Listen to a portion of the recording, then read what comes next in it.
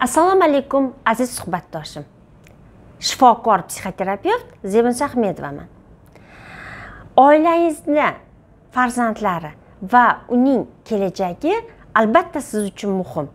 Ammo farzand qo'rqayotgan bo'lsachi farzandingizni ichki qo'rquvi sizni xavotirga solayotgan bo'lsachi hatto men bilan birga yuring deb faqatgina sizni qo'lingizdan mahkam ushlab olgan bo'lsachi unda nima qilish kerak?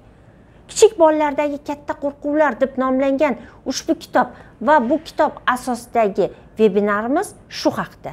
Mana shu shanba kuni sizlarni savollaringizga javob beraman. Bolalardagi qo'rquvlar fobiyalar haqida gaplashamiz va undan chiqib ketish yo'llarini o'rganamiz.